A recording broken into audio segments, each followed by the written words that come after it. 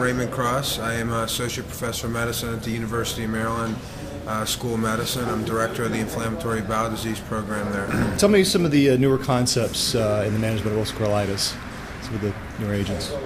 So I think with, with ulcerative colitis, uh, it, it's still uh, we, we have more we have emerging medical therapies that we haven't had before, but the concepts of management are still very similar to what they were 10 or 20 years ago.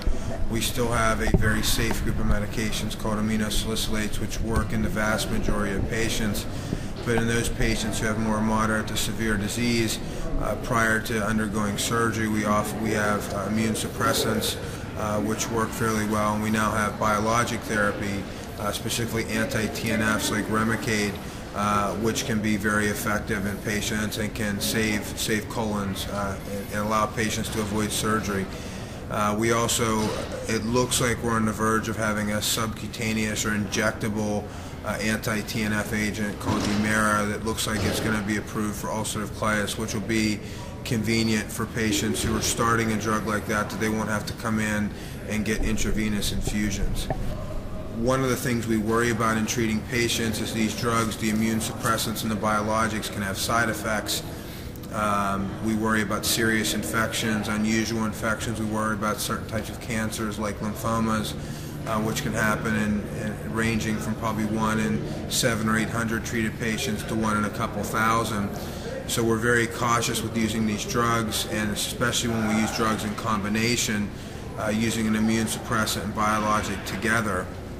Uh, but there is a, another recent study that came out showing that if you use a combination of an immune suppressant and a biologic or anti-TNF in patients with ulcerative colitis, that the outcomes, at least as far as mucosal healing, uh, are better.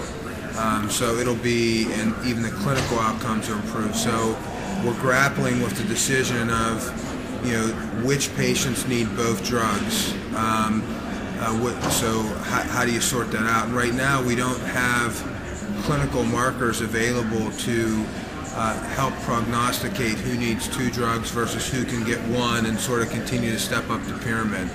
So it'll be important that we develop biomarkers that are going to help risk stratify people a little better because I think most gastroenterologists are unwilling unwilling is the wrong word, but we're hesitant to give everyone the maximal therapy. Also, other concepts that are changing is that how we follow patients and decide if medicine's working. So, you know, 10 or 20 years ago, the standard was you come into the office after we start drug X and we ask, how are you doing? Well, I'm doing fine. My bowel movements are back to normal. I'm not seeing blood. And we, you know, write your prescription and you leave the office. And that's, for the most part, still what's done today.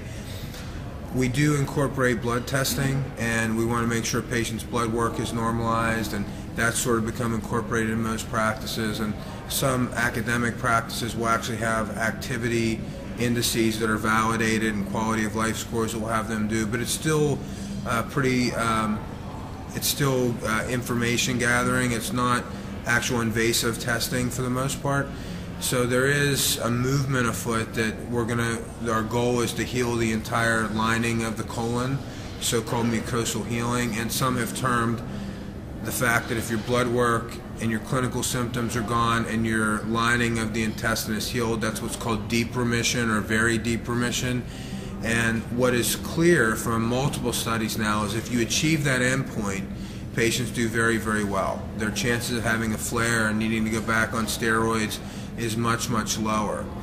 Um, so the questions that are coming up now is if a patient feels well, what do you do? Do you bring them in for another sigmoidoscopy or colonoscopy and look? And if everything isn't healed, what do you do in that patient? Do you start them on a new drug? Do you add on? Do you try to maximize what they're on? The reality is that 30 or 40 percent of people don't heal, and so we don't have agents to give them that can result in healing. Um, so right now, the it's the gold standard is not to repeat repeat scoping in patients who who have done who are doing well. But I think if you're scoping people for other indications, perhaps screening for colon cancer, and you see that they still have disease, in my personal practice, I do tweak their medicines and try to make some changes to try to get them to get complete healing.